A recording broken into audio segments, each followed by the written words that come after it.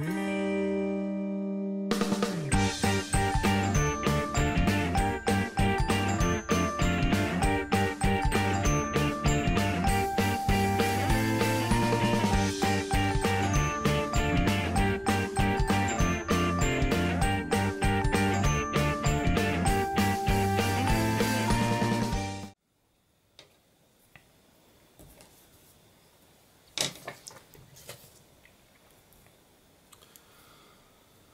Haupa kaixo, bueno, bideo honetan urrengo limitea batziko dugu, non isa infinitzua daban, eta aukagu bi berri izasati mila bider bat koma bost ber isa. Lehenik eta behin kalkulotzo batzuk, oso erasa direna, jakiteko. Ea, bi, azkenean ordezkatu goi dugu, ezta? Bi ber infinito, ba, pentsatzen bali mozu, bi ber bi lau, bi ber iru da sortzi. Gero eta zanbaki handiagoa egiten bali madugu berretura hori infinito aldiz, lortuko dugun zenbaki izango da infinituki handia, beraz, infinito, vale? Bi ber infinitu, edo zein zenbaki ber infinitu, infinitu izango da. Eta beraz gauza berdina, bat, koma bost, ber infinito, izango dugu infinito. Beraz hemen daukagu infinito bat, eta hemen daukagu zenbaki bat bider infinito. Gogora ekartzen baldin baditugu infinituen propietateak, zenbaki bat bider infinito, berdin zaigut zenbakia zeinen handia den, zenbaki bat bider infinito, izango da infinito. Zenbakia positibo baldin bada, plus infinito, negatibo baldin bada, minus infinito.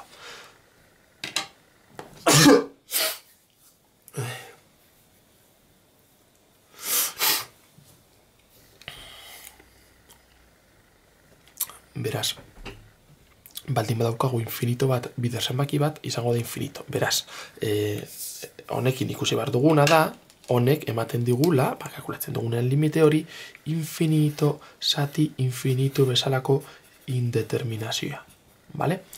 Ni baldin badaukat goian eta behan isa berrez dakizer, eta behan baitare isa berrez dakizer, badaude modu batzu kalkulatzeko aurreko bideoetan komentatu ditugunak. Baina hau ezberdina da. Hau bat da, e, berreketa bat izatea, non daukagun isa ber zenbaki bat, eta beste gauza bat da esponente bat izatea, esponente, e, isa esponen, esponentean egotea. Azken daukagu zenbaki bat ber isa. Ba, jak, e, bideo honetan ikusiko dugu zelan konparatzen diren esponentes berdin hauek, eta baita ere ikusiko duguna da zelan alderatu daitezken e, isa esponentzialean agertzen dean eta berreketekin haien artean zelan konparatzen diren, bale? Beraz, hemen ez dago metodo zehatzik, baizik eta ikasi bar dugu, bat, txorak eritxo bat. Lehenik eta behin, daukagunean, bi berriza edo bat koma bost berriza. Argi ikusiko dugunez, ba, ni baldin badaukat, bi ber iru dela sortzi, eta baldin badaukat, ba, e, adibidez, iru ber iru dela hogeta zazpi, ikusten dugu, hemengo zenbakia berdina izan da, hemen, zenbatetan handiago esan, emaitza handiago izango dela, hori ikusten duguna. Ba, beraz, berdina gertatuko da bi ber infinito izango da txikiago iru ber infinito baino. Honek esan nahi duena da, zenbat eta zenbaki handiago egon hemen azpian, orduan eta infinito handiago bat lortuko dugula. Eta gogoratu infinito zati infinito bezalako indeterminazioetan, beti bilatzen duguna da jakitea zein den bien artean infinitorik handiena. Beraz, baldin bada handiagoa hemengo ba, oinarria, esponentonen oinarria ikusten dugu hau dela bi eta hau bat koma bost, bi hau handiago denez hau baino, infinito hau izango da infinito hau baino handiagoa. Eta, ba, mila hau hemen dago trampatxo gizara jarrita, zer gaitik, askotan pentsatzen dugu, bueno, Vale, hau bi bat da eta ben bat koma bost, baina hau daukagu biderkatuta milarekin, eta guretzat mila zenbaki handi bat da.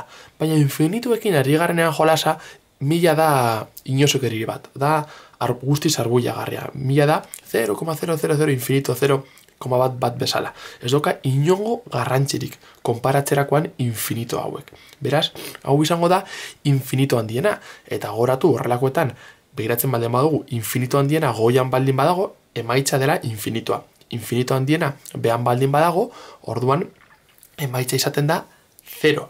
Eta e, baldin badaukagu infinito parekoak edo berdinak bai goian eta bai bean, ba orduan ikusi behar dugu gertatzen den.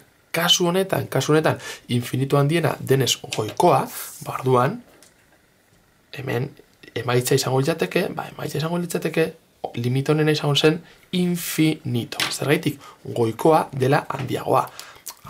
E, kasu, e, bi ber isa bat koma bost ber isa aldrebes egongo baldin baziren, hau da, bi hau azpian, ba, emaitza izango zen 0, zergaitik 0, ba, goratzen dugunez, zenbaki bat ber infinito, hau da, ni daukadanean, ber infinito espakatu, zenbaki bat zati infinito, 0 ematen digula.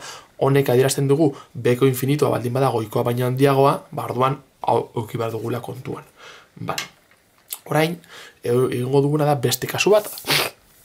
Orain, alderatuko ditugu, bai, hemen ikusi ditugun, ba, esponenteak zenbaki bat ber isa, eta e, aurreko hariketan agertu zaizkigun e, berreketak, ez da, isa ber hogei bezalakoak. Vale, ba, kontuan izan behar duguna, da, urrengo ideia. Berdin zaigola guztiz, zein zenbaki dagoen amen azpian, edo zein arekin. Eta berdin zaigula baita ere, isa ber ez dakizen bat den. Noiz eta zenbaki oso handia izan, eta oso zintzikia izan. Beti, beti, beti, beti izango da handiagoa, isa hemen e, esponentzialean agertzen denean, isa hemen behan agertzen baldin bada baino. Adibide oso erraz bat ikusteko. Ba, ingo dugu ba, kalkulatu zenbat den e, amar ber ez dakit isa demagun dela amar, ba, kalkulatu zen den handiagoa iru ber amar edo amar ber iru. Egin kalkulau ikusiko zue isa zenbaki nahiko txike izan da, hau asko zera handiago dela.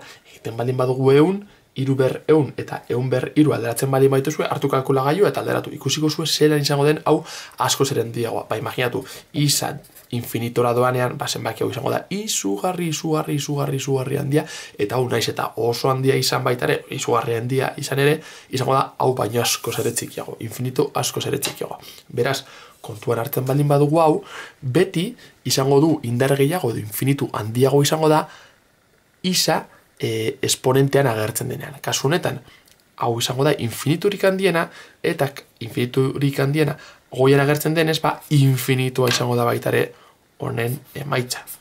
Hau eta hau trukatuta agertzen baldin badira, ba, emaitza zero izango zen. Berriz ere, hemen mila jarri dugu gauza berdina egiteko, pizkat korapilatzeko, pentsateko, bale, hau da, bestea baina handiagoa, baina milarekin ari gara biderkatzen, beraz, kontuan izan behar dugu hori. Ba, kontuan izan behar dugu, baina ez dugu kontuan izan behar, mila, bale, ondo dago hor, pentsatu pizkatzu bat, direktamente mila infinito alderatuta, ez da ezer. Beraz, mila horrek, izan daiteke mila bider isa berrogei, edo bi bider isa berrogei, azkenean zuentzako ez dauka inolongoko garrantzirik. Idei hau goratuta zelan alderatzen diren, isa esponentean edo isa espian agertzen diren berreketa batean, ba, hau goratuta horrelako infinito esate infinitu bezalako indeterminazioak ebatzial izango dituzue.